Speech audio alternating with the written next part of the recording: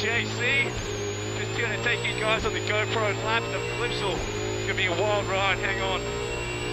Fifth gear here, just gets to the limiter, off the brakes, down to fourth. Up high, up over the curb.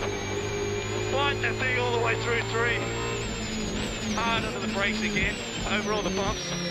All over the curb in four. Let it settle in the rear, hard on the gas. Again, up on the curb. Hard on the power again. Sounds beautiful on the limiter, doesn't it? Through six, more the same. Now seven, massively important to roll the middle of the corner. On the gas as early as you can. Just wild out over the curb there. Up into eight, massive breaths. Blocking gears, 210 here. Holy.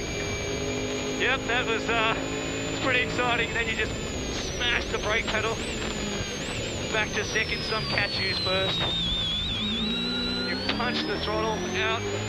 It's like shot out of a cannon here. Around 10, around the wall, back to second. Tip in for 11. Easy to slap the wall here on the exit. Plucking up through the gears. You've done all this hard work.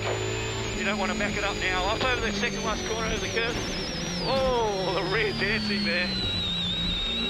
Hard out the gas again. Bag them up for the finish. That's a wild lap around here. Thanks guys for joining me on it.